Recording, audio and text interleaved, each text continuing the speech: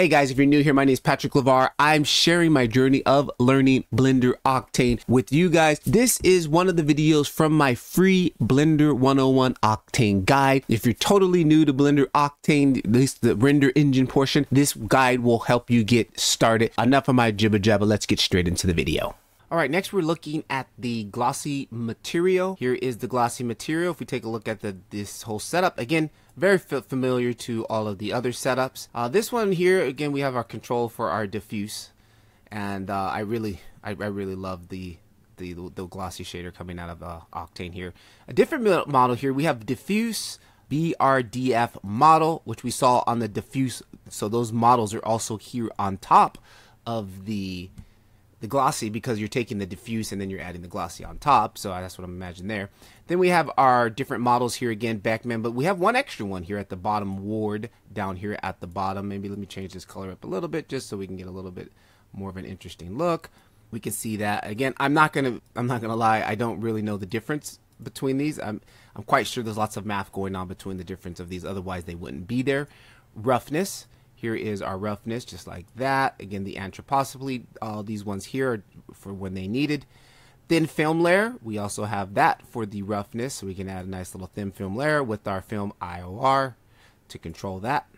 Sheen, again, to activate the sheen, we take it from black and bring it into white to control how much value of that sheen we want. So there is the sheen. And then also, while we're in the sheen, you can control the sheen roughness, more rough, more uh, diffu- uh, less rough, less roughness. I guess we typically use this a lot when you're making like uh, clothes and things like that, cloth, cloth. IOR. Here we go. Re- refractive blah, blah, blah, index of refraction. Again, controllable there. Allow caustics, even though even though it's like a glossy material, but I don't know how that works. Well, I don't know. Maybe you might get some cloth bouncing off and maybe yeah light that bounces off and hits back down. I don't know.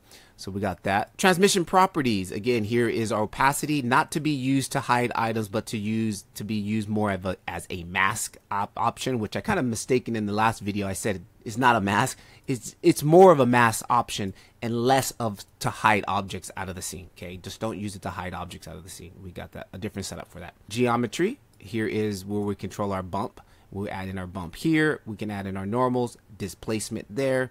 Smooth, same setups here. We've got the smooth and the smooth transmitter. Rounded edges, which we can also add there. And then again, these custom settings here down at the bottom. It's pretty much the exact same node setup, besides a couple of extra features here on the top here. So let's move on to the metallic shader. All right, next up, metallic material here. So the metallic material it's pretty much, you're going to see the same pattern here. We have our default diffuse specular color here. Now, it doesn't have a socket because typically metal, when you're doing metallics, it pretty much has a, a, a, color, general color. But you can still add one if you want. You can come here and add an RGB color, and then, you know, you can do the deal here, which I'm not seeing the effects here, so I'm not too sure typically oh well there it is because of the specular mapping color is also has an effect on it so that's why generally like this when you're using the metallic shader it's like it knows that you want metallic right? So it's already kind of has you set up. You can control your edge tint like we did in the universal uh, specular color here. Again you can either pull that out. And I wonder if you know what if I add that RGB color into here instead and let's see if we see any color there. Yeah there you go. So you just add the RG spectrum into there. So I guess this underlining diffuse color basically kind of like underneath it so you got that there. Gonna kill that. Edge tint, specular map, which we can also control the color on that. You can just plug this straight into there. And then again, it's very faint. You don't even really see it, but it's also an option.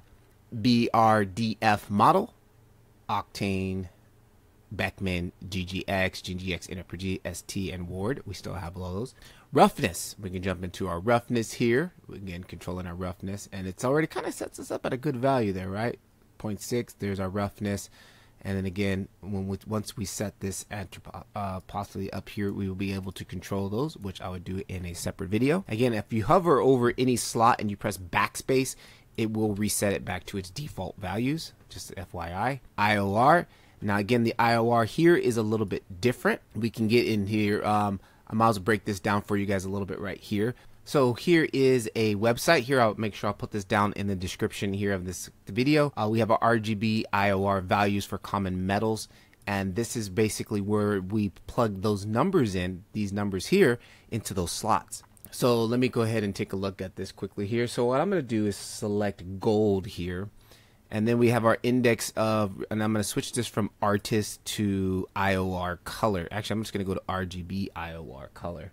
And then what I'm going to do here, if I pull this back over here and let you guys see, I'm going to choose, I can't remember, it's been a while since I've done this, but I think I'm just going to take these these two numbers here and plug those in. So let's grab this one here, which will be our top one, and this one will be our bottom one. And then if I come back over here, and I'll go ahead and paste those back in here. So I think this was my first one and this one was my second one and then green blue. Okay so yeah now we're going to take our green. And again this is how you can make physically accurate metals right? And you can already see this we're getting some something's happening there. The colors are slowly changing and then let's grab our blues. All right boom. That looks gorgeous. Check it out. Let me just pull a little bit of roughness off on that there. And i'm actually going to switch my model over to ggx and there it is. See? Oh look at that. Gorgeous gorgeous. So that's how we would add in here to get realistic scientifical numbers. So you would use these index of refraction charts here. So you got gold iron lead all these here. And you add these numbers in to here to get accurate metals. And then again here are just different models here. So that's rgb ior and then here's RGB IOR plus color, which um, I have to get into the manuals to break down what exactly these do. As the videos progressively get more advanced, we'll start to go into the more advanced stuff here. But for generally, I want to keep these videos nice and simple for you guys. As the future goes on, there will be more advanced videos. This is a quick way to get some really accurate metals. I mean, God, that looks good. I can't stop looking at that. I'm like, yes, I love it. That is, I just want to start playing with it right now and making something, but got to stay focused. So then we also have allow caustics on here. Then we got our sheen, which we had in the other ones here. Sheen roughness, I'm, I'm gonna kind of breeze through these now that you guys are seeing the pattern. Film layer, we can add a little bit of film layer, but on gold that wouldn't wouldn't be happening, right? Mm, I don't know, maybe it would. And that was another thing too. You can um, also find out the R the IOR value, like film layer of gold. And there might be some, so you would dial that in here. I'm not gonna get into that video right now. I'm about to start researching all that. And here again, opacity, which we use for a mask, not to hide things in geometry properties. Again we would definitely have to add some bump in here on this gold because it's not gold without a little bit of bump on it right? I gotta stop. Okay I really want to start messing with this material right now. So and then after that we do have our smoothing smooth uh, shadow terminator